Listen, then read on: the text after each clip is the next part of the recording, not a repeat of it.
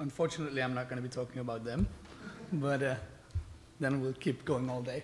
Good. So, good afternoon, and thanks for the introduction. Uh, I have to confess, I'm not a sound person, but it's very nice that uh, a lot of the, the, sort of the details have already been covered by the, the previous speakers. So, so, so that's great. I can skip some parts of the introduction.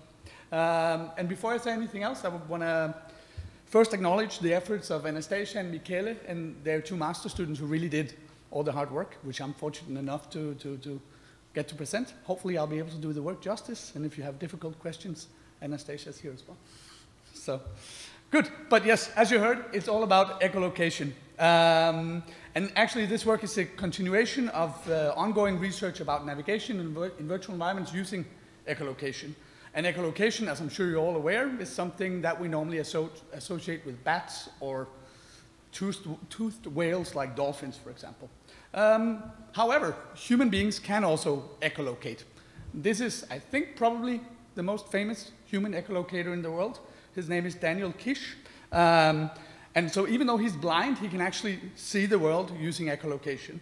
And specifically, so he essentially does what other mammals do as well, that are echolocating. So he produces clicking sounds with his mouth. Um, and then by listening to the echoes that come back from these sounds, he gets an impression of the environment he's within. And Daniel here is actually so good that he can ride a bicycle without being able to see, which is very impressive. Um, but it goes without saying, almost, that echolocation is an incredibly difficult skill to acquire as a human being. Uh, and it's very, very unlikely that individuals sort of that start training echolocation later in life would be able to reach this level of, of, of uh, proficiency. Nevertheless, having rudimentary echolocation skills as a blind person is likely to be beneficial. And we may even be able to start training people to give them echolocation skills uh, if it's people that are getting blind later in life. As they're growing blind, it might be a good idea to start training already. Of course, this is somewhat speculative. Um, but that's essentially, at the heart of this work is this idea, can we use acoustic virtual environments to train people to echolocate? And this is sort of initial attempts at, at, exploring these questions. And specifically what we're interested in is um, trying to explore how different types of sounds affects novice users, so sighted users' ability to, to echolocate in, in virtual environments. Are they able to form cognitive mental maps, get a sense of the environment just based on echoes? And, and how does different types of sound affect their navigation performance? So I'm going to move straight to the, the system architecture and briefly explain that. So the hardware we used, we used an Oculus, CV, uh, Oculus Rift CV1 for, for visuals. I'll get back to when we were using visuals in a moment. We used a set of headphones, and as an input, we used a pair of Oculus controllers. For one of the two studies we performed, I'm just going to be talking about the main study. Um, you'll have to, to, to look the, the, the, pilot study up in the, in the paper. But the, the way we used the Oculus controllers was essentially that the forwards and backwards movement was instigated using buttons. Also, we didn't require the users to actually produce clicking sounds themselves, because creating good clicking sounds is actually surprisingly difficult. So instead, what we did was that they pressed a button, and then a, uh, a clicking sound was, was emitted in the virtual environment. So the way in which the, the, environment was generated was using a combination of Unity and, and Steam Audio. So Steam Audio supports head-related transfer functions, but it also gives you quite a lot of options for manipulating the reflections, which we were hearing about earlier, uh, of sound waves in, in the environment. The way in which we uh, generated the mouth clicks, as I said, we didn't require the participants to generate them themselves, but based on information about uh, or data on how experts actually sound when they're clicking, we developed uh, an, uh, the sounds in MATLAB, or an algorithm that could produce the sounds in MATLAB, and they were then played back, but it was a sample or recording that was played back in the environment. These sounds were played back from the user's, the virtual location of their mouth, basically.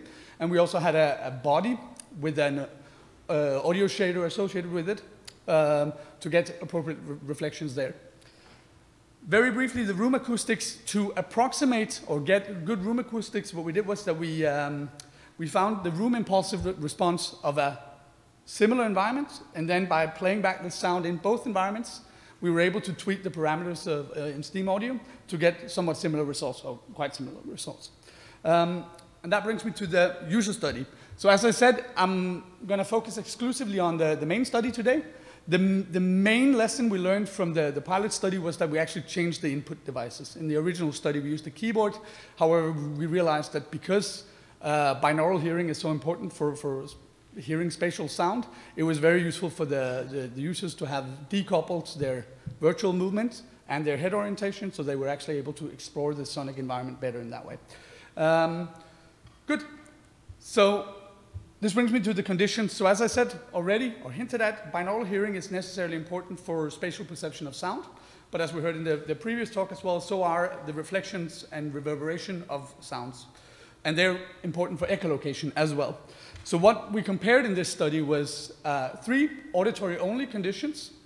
So we had participants exposed to just reflections, late reverberations, and then the combination of the two while they were navigating using echolocation. And then we had a visual condition that was more or less just used as a baseline for comparison. So again, all of the participants were sighted. Uh, they could see. So, so this was essentially just to, to get a sense of, of the optimal conditions for them to, to navigate within this environment. Good. So for the procedures, the study took 40 to 60 minutes per participant for each of the 26 participants. It involved a rather lengthy training session so, so what we did was that the participants were exposed to both uh, rever reverberations and reflections, but they were able to see the environment at the same time. So the idea is we encouraged them to navigate around the environment. It wasn't the same environment that was used for the study, but get a sense of how this, the, the, the sound changed when they were close to a wall, for example, uh, or when they were facing in, uh, no obstacles. Um, so they went through a, a, rather long training session, and once they felt com comfortable both using the, the hardware, but also had some, we had a sense that they, they knew how to interpret the sound. They were permitted to, to actually uh, start the study. And then we uh, exposed them to all four conditions. I should note that the visual condition, so they were counterbalanced, but the visual condition was always presented last, because we used the same environment for all conditions, and we did not want them to have, have, have, have seen the environment before they started um, echolocating. So the task was very simple. They were inside this cave-like environment, and they were tasked with navigating through this corridor uh, segment. Uh, they started around the, it's yellow on my screen, but I guess it's yellow up there. Um, the dot on the left, the, the, this, the, exact position was randomized, and so was their orientation. Uh, but then they were tasked with finding uh, their way towards the, the, green dot, and upon arriving at that spot, the, the trial would end. Um, Yes. And as for the measures we used, uh, we used a combination of behavioral and self-reported measures. So behavioral measures, we had uh, observations, so looking at the users um, as they were navigating. We also collected quite a bit of data, so we collected data related to the virtual distance they, they walked or moved inside the virtual environment. We collected data related to completion time and how many times they uh, clicked the button that made uh, them click inside the, the, the, virtual environment. Good.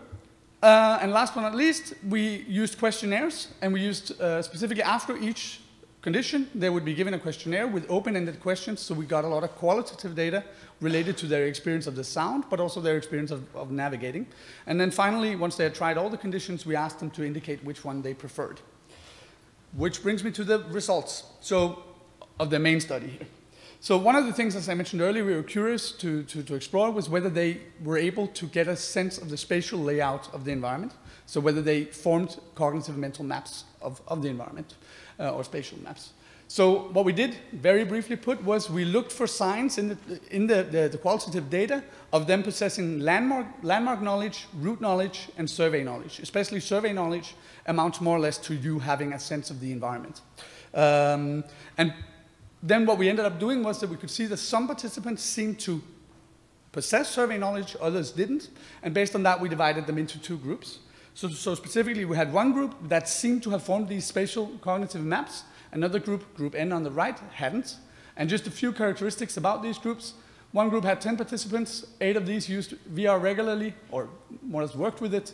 Six, six of them were sound engineers. We also noticed that the two groups used slightly different strategies. Um, Many of the, the ones in the CM group uh, would constantly click while moving around the environments, while others would simply stand still, click a lot, and turn their head in, in order to, to explore the, the acoustic environment around them.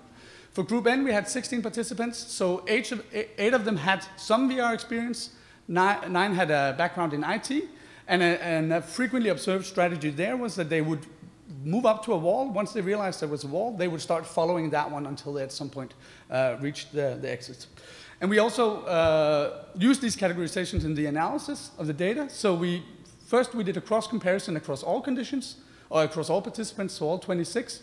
We also ran separate analysis, analyses for the two groups. And finally, we compared the two groups with each other. And I'll, I'll briefly run through that, those results. So first, looking at the results for all participants. So this is the behavioral, behavioral data. You see distance walked on the left, completion time in the middle, and number of clicks on the right. And that's how the configuration of figures is going to stay for the next couple of minutes. But there's absolutely no surprises here. What we found was that when they could see, they were significantly uh, they, they walked shorter and they were faster, right? And we didn't, but we didn't find any differences here between how much they clicked. Um, we saw some, something fairly similar when looking at the group that did not seem to have formed these cognitive maps. Again, the visual condition outperformed the, the purely auditory ones. So no surprises there. It is worth noting that, that there were some differences in terms of, of how much this group uh, clicked across conditions. Good. So moving on to the group that seemed to have formed uh, cognitive maps. Again, we see the same pattern, not surprisingly. They performed best with the visuals, but for this specific group, the significant difference between the condition, so the green one, which is reflections and reverberation, and the visual condition disappears. Of course, that doesn't mean they're equivalent, but it does illustrate that, it, that in this case, they, they, performed reasonably well with this specific um, uh, feedback. And when comparing the two groups, uh, what we looked at was just we performed nine pairwise comparisons. What we did find was that when they were exposed to both reverb and, uh, and reflections, then the, gr the, groups that had formed these cognitive mental maps, they walked shorter and they also clicked less than the other group. And then last but not least, the preference rating, there was a clear preference across all participants for the combinations of reflections and reverberations. So just to quickly summarize uh, the findings, as expected, the visual stimuli led to uh, superior performance. The group that seemed to have formed these cognitive maps, in, in those, that case, we got similar, of course not identical performance in terms of the, uh, the RR condition and the V condition. In terms of group N, one of the things we noticed was that they seemed to click more than the other group, and that could simply be that they got less out of the, the sound, less information out of it, so they felt the need to click more. This is necessarily somewhat speculative. Um, then we identified some navigation strategies, which I briefly touched upon earlier. And then, sort of on a broader point, uh, we found that novice users were able to safely navigate using echolocation in this very, very simple scenario. And again, they weren't given much training. So I think all in all, we think using acoustic virtual environments might have some potential for, for these sorts of training purposes. And on that note as well, we found that this audiovisual training procedure seemed to be quite effective, but of course we haven't compared it within auditory only, only training procedure, uh, but at least it does seem to offer some promise. So that was what I had to say. If you're interested in, in this topic, echolocation more broadly, then Anastasia and a couple of our students also have a demo and a poster here where they're talking about visualizing echoes. Uh, so if, if you're interested in that, I'd encourage you to check that out. Thanks.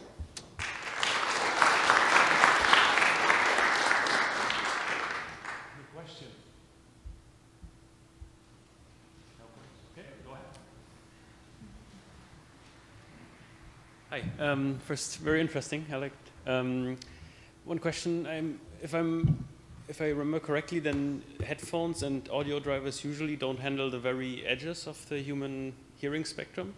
Is there? Do you have any intuition about, like, what what it could, how much it could help if we could like handle very, very, very high sounds that we maybe even don't uh, consciously um, hear, but we pro would process for something like echolocation? How that mm. might help?